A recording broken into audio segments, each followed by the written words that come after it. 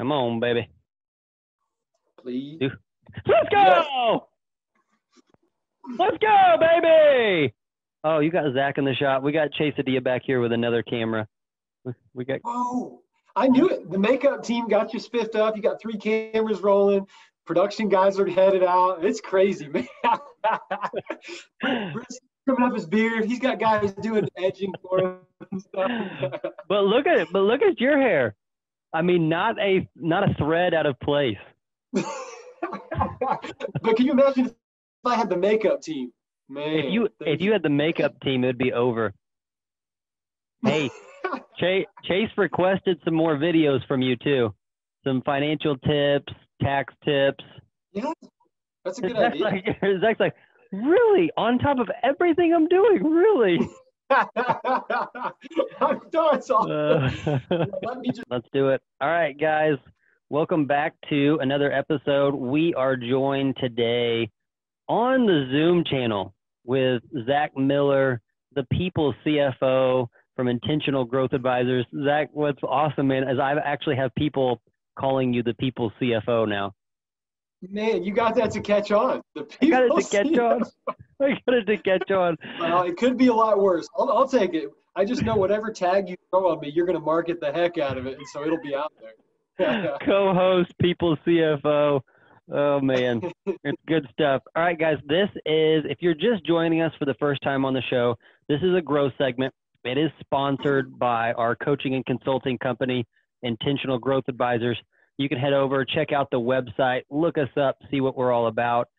But these are these are deep dive topics that Zach and I do, and if you're if you're just now joining us, like I said, we do deep dives here. We do growth nuggets, interviews, documented episodes.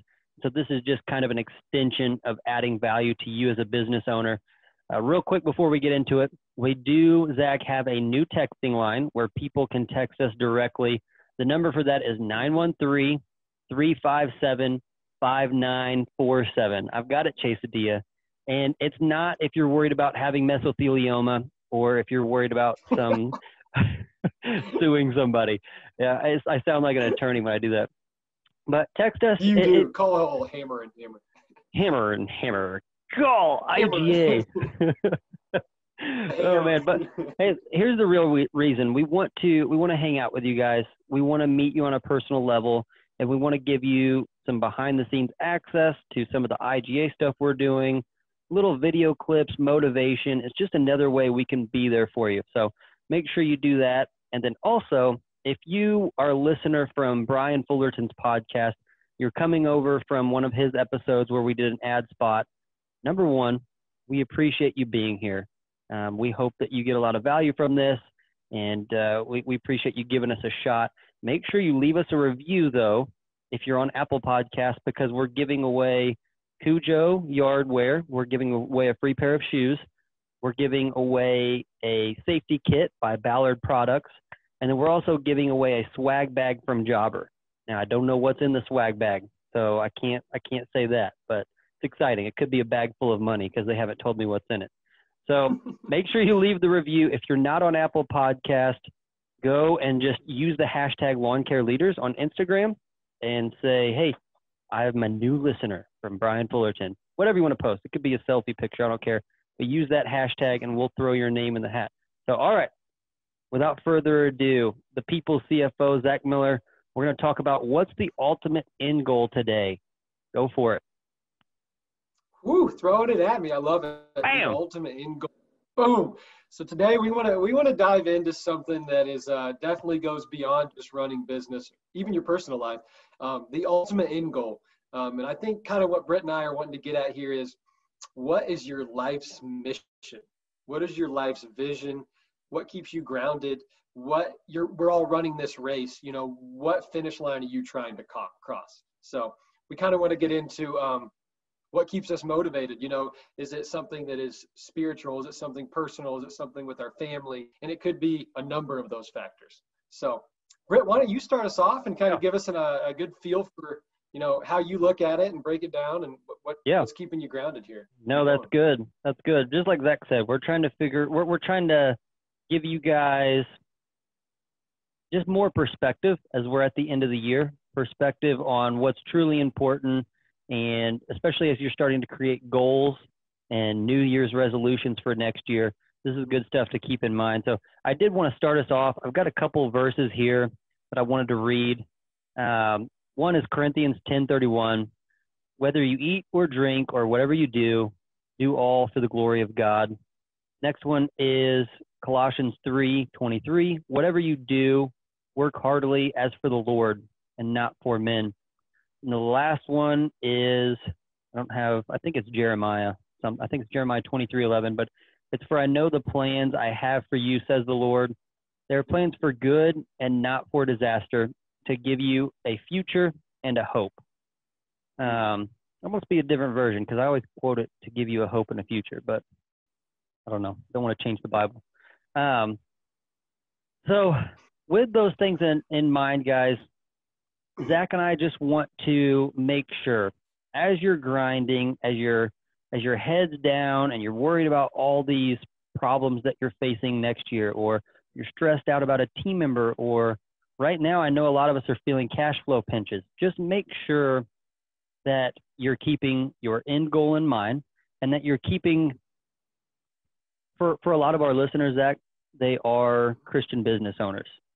Right. And so we want to make sure that every decision is rooted in faith and bathed in prayer and we want to make sure that we know when we're creating these goals, when we're creating this vision that we're we're still looking at it through the lens of scripture, still looking at it through a, a faith filled human, not just, hey, what's going to get me the most profit? So that's really what I want to wrestle with is we're all striving, we're all working hard, but make sure you have a vision that you're casting that is faith filled, that is bathed in prayer, and make sure that at the end of the day, you can tell your wife, your kids, like, hey, yes, we ran a successful company, but more important than that, like we had a personal why. You know, we we started a foundation or we gave back the extra time that we had and, and went and helped some nonprofit organization or I I raised up a kid and helped him along his journey just like somebody did that for me. And so that's what I really want to get at and, and touch on here a little more, Zach. Yeah, that's really good. I think that is something that we as Christian business owners and businessmen struggle with sometimes is to make that connection between being the most efficient and most profitable and how that fits into our calling. You know, are yeah. those two exclusive? Can they work together? How do we get them to work together? How do we stay grounded?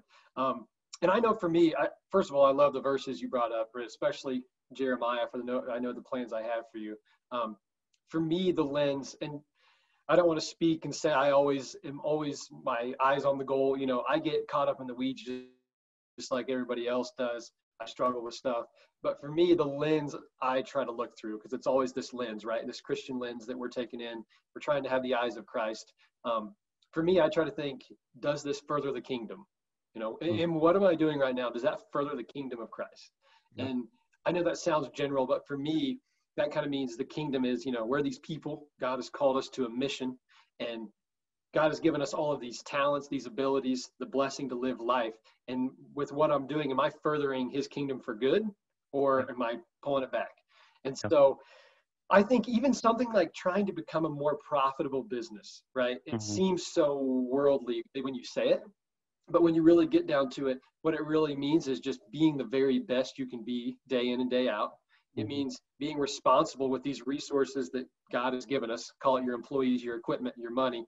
Um, and I think God has called us to use our creative abilities and our talents to do great things for the world. And I think profit and doing well in business, yeah, it's a way to keep score in business, but it also shows, you know, the hard work you're doing, the the giving back you're doing by paying employees, all of those things. And yeah. so at the end of the day, that's kind of my high level, you know, am I furthering the kingdom or am I not with what I'm doing? And mm-hmm. I try to step back and take that lens. So that, that's, that's, one awesome. approach I take, Britt. If you want to kind of talk about one of your lenses or if that's kind of a way you look at it. I think that's awesome, man. I think that's awesome. Is it furthering the kingdom? And I think what's also cool with what you're saying is everything we do on a daily basis can be kingdom work. Mm-hmm. That's on us. Yes. You know, we, we yes, don't leave we don't leave yep. Sunday morning and then go about our day and then come back Sunday morning. No, there's we spend 75 to 80 percent of time here on earth working. So we're Mhm. going to work. So our work should be a reflection of Christ. All of our work, all of our production, all of our striving should point to God. It should reflect our faith. And I love how you're saying that. It's kingdom work. And you don't have to you don't have to start some nonprofit to do Right. kingdom work. You can do kingdom work right where you're at today by doing more than you get paid for when you're on the mower and you're getting off and moving twigs out of Mrs. Jones' lawn or picking up trash Mhm. or being nice to a stranger. Like we all leave little impressions wherever we go. And so I think that's what kingdom work is. What impression are you leaving on a daily basis as you go about your life? So I, I have a couple points here, Zach, and then I'll let you wrap it up. But one I would say is is have a personal mission, just like you're saying about Mhm. kingdom work. But if you have a personal mission or you have this idea of like, hey, this is what I would like my personal why to be, it's going to help you start to point towards that.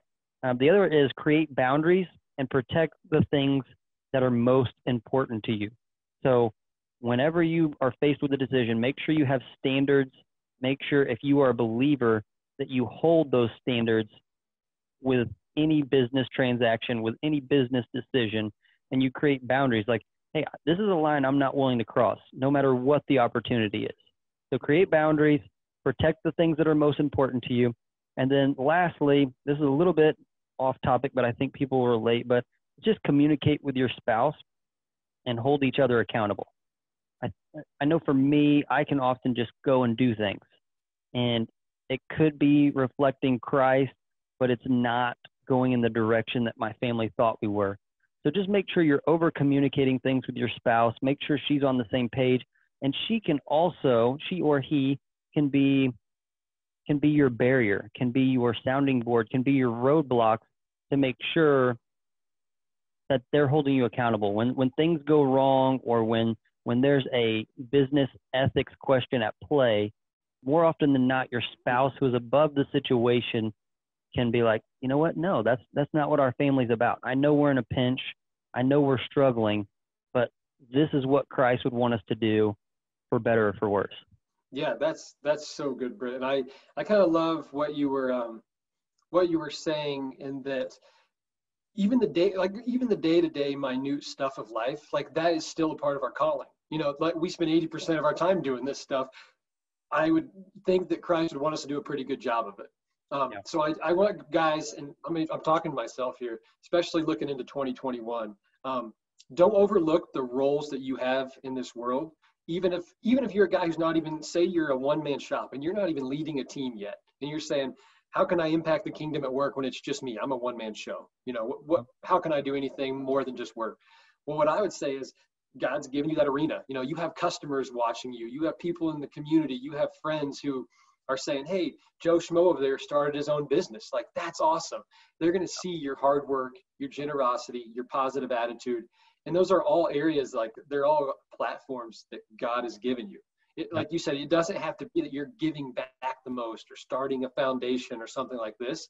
There are so many ways that God has given us a platform and a calling and a chance to further the kingdom. So Yep.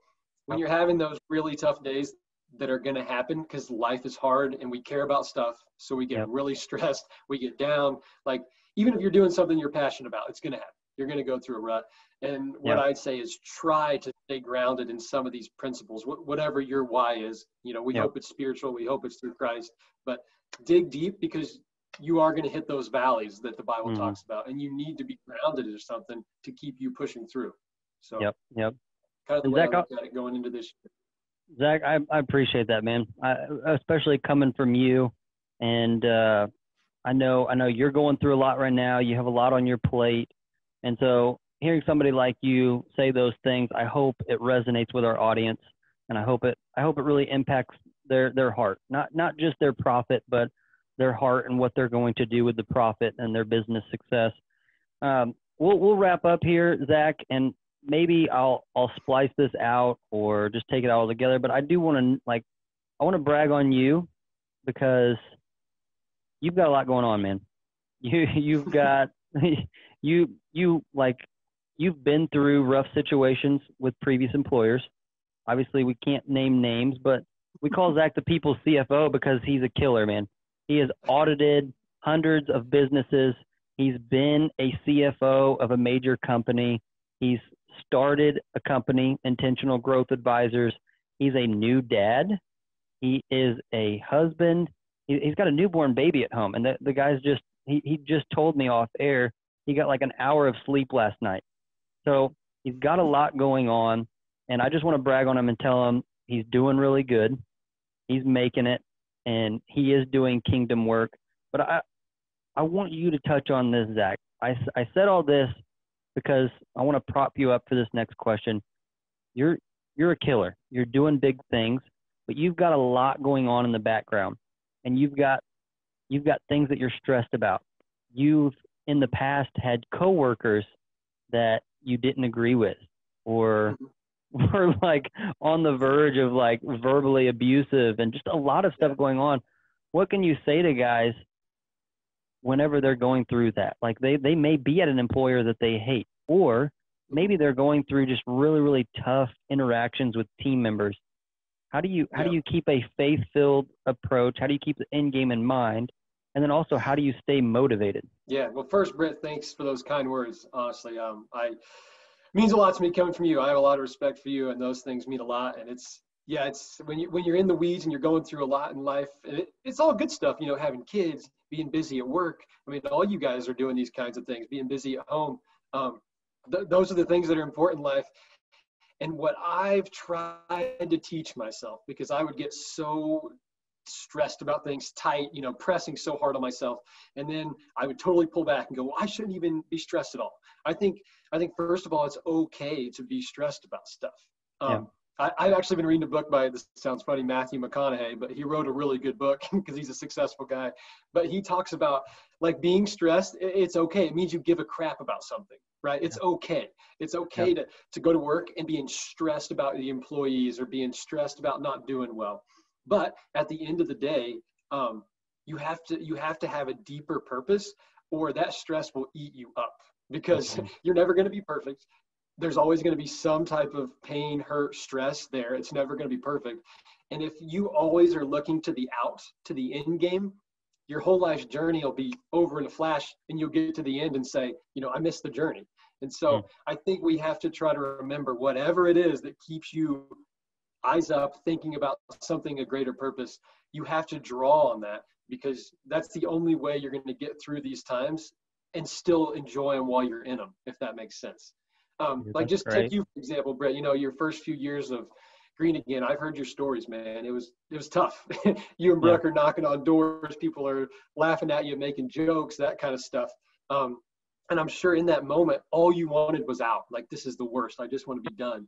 But I know that you embrace those challenges because you still do when things are hard.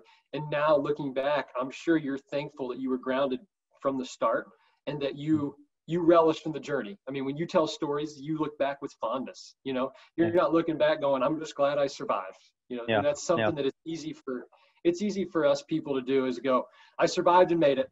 Well, your whole life's going to turn into that. So mm, that's kind of what, what I would say to guys: draw, draw deep on whatever it is you have, and like I said, if it's spiritual, that's the, probably the best base you can get. That's the route Britt and I go. We, you know, Christ our Savior is what keeps us grounded, but we all go through crap, every one of us, even if we're doing great in life. And you got to have something to get you through. Bro, that's that's beautiful. Like that is that's awesome.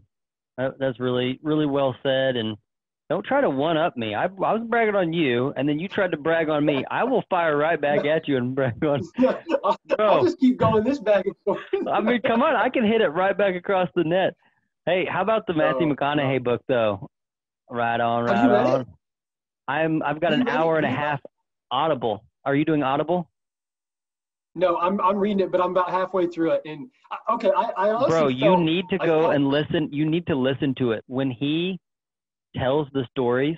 He is such a good oh, storyteller from all his experience. I'm there. I'm like, holy. Yeah.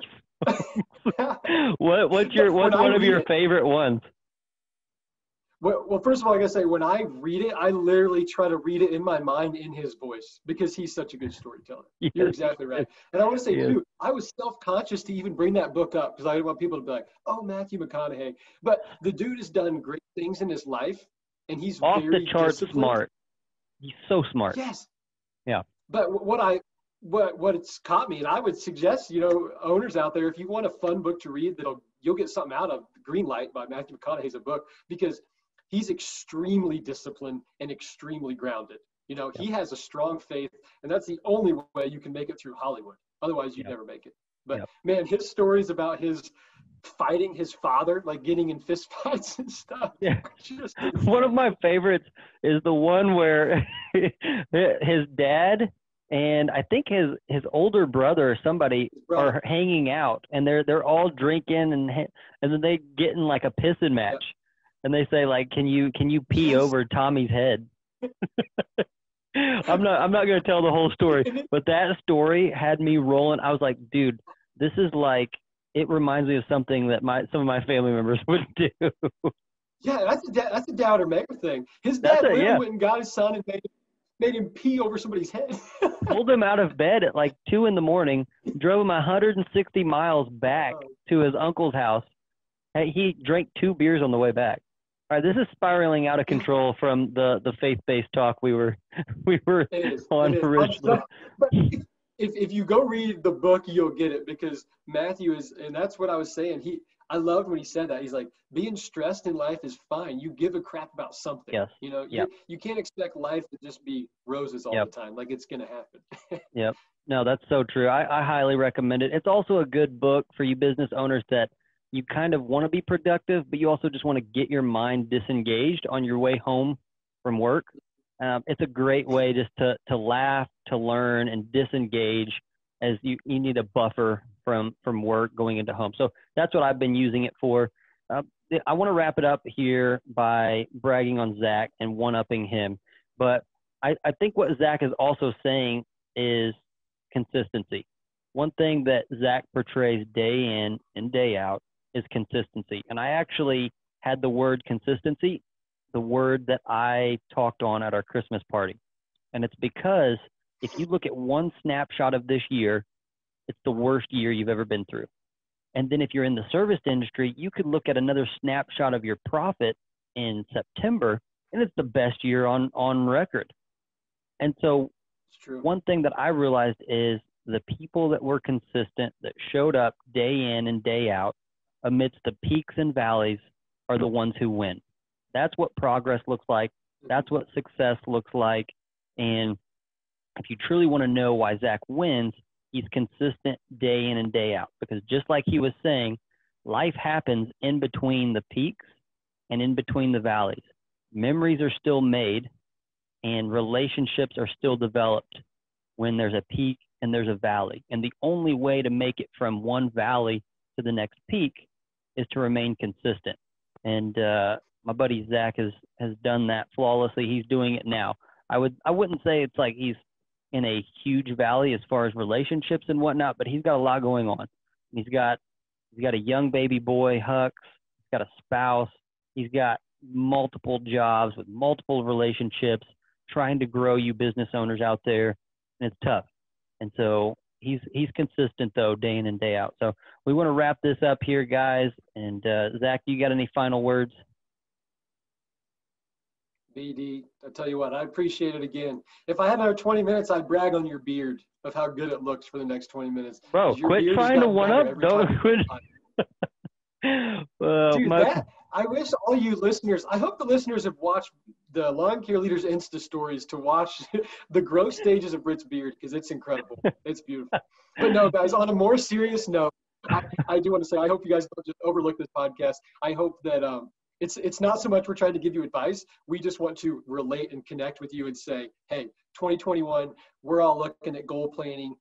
We're all looking back on 2020 and seeing what we did right seeing what we did wrong. We're all probably stressed about something coming up but at the end of the day hopefully we all can latch on to something that keeps us grounded keeps our mind up keeps our vision and uh, propels us all together in 2021 to have a great year. So that's yep, yep. kind of what i'd say is the final words Zach, could we could we bribe our audience and get you to send them a a personal video with some some IGA info or tax tips if they text us? Would you would you do that? I like it, Brett. Put me on the spot, so I have to do it. So yes, I can. Because we're live now, so it looks like yeah. If you guys want, want some, I, I do have a few things prepared of um, year end. We'll call it year end tidying up or bookkeeping type stuff just to get you prepped for next year. Um, I can put together a quick little video that hopefully gets you owners thinking about, you know, cross your T's, dot your I's for the end of the year and get you rolling into 2021. Yep. So if here's what we're going to do, guys. If you're a listener and you want a personalized text from Zach in video form, all you need to do is text Zach Z A C H to 913-357-5947. But all right, guys, we've been going a hot minute on this growth segment. Hope you've had fun. I know it's been fun for Zach and I, and we will be back with you soon.